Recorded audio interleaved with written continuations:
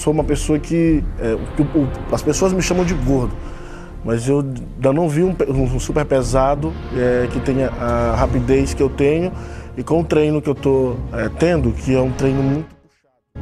Sumo, of course, is totally different from MMA uh, fighting style.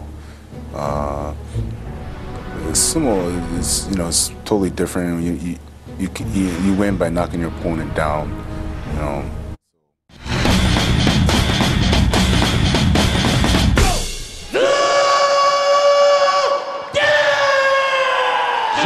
Zuluzinho's 26, 6'5", 341 pounds, making his debut in Pride Fighting Championships. Nice facial expression there. Toriu, aka Fighting Dragon, is 36, 5'10", 267 pounds, with a record of 1 and 3 in Pride. Man, every time we see him, he looks better and better. And look at him now. Been hitting the weights for sure. And he's talking to his corner man there, the blue-eyed samurai Nicholas Pettas out of Denmark. Zuluzinho there in the corner, Bas. How would you like to have that gentleman's job, Mr. Rutten? Let's not go there because once I start, there won't be no stopping. But I'm wondering what they are doing with Zulu to get a real close inspection.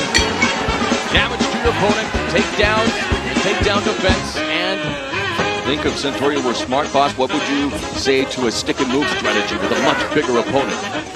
He's got a longer reach also, so definitely he needs to fight up close. This is the business, but Uh, good takedown defense here. on a double leg, and uh, I think that's why they were trying to uh, secure his uh, tights there. The uh, tie trunks are falling off of him.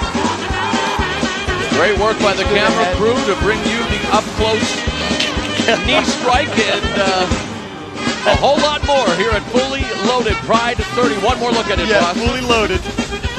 Losing his tights, which I thought maybe that's why they were going to stop it to let him pull up his pants. A knee there in the groin. Yep. Shot to the peninsula south of the equator within the first minute of this opening round. And Bas, uh, he shattered Otska's cup. Remember that? Oh, uh, yes. on a recent Broke uh, Pride. I don't know what happened here. Interesting stoppage here as we saw Centurio lose his drawers and now Cent- or make that Zuluzinho and Centurio loses the the the pulling down the pants technique is apparently illegal.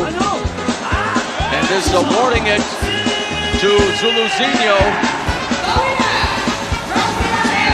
Okay, now it's maybe me, but I really don't know why they stopped this fight. He looks totally fine.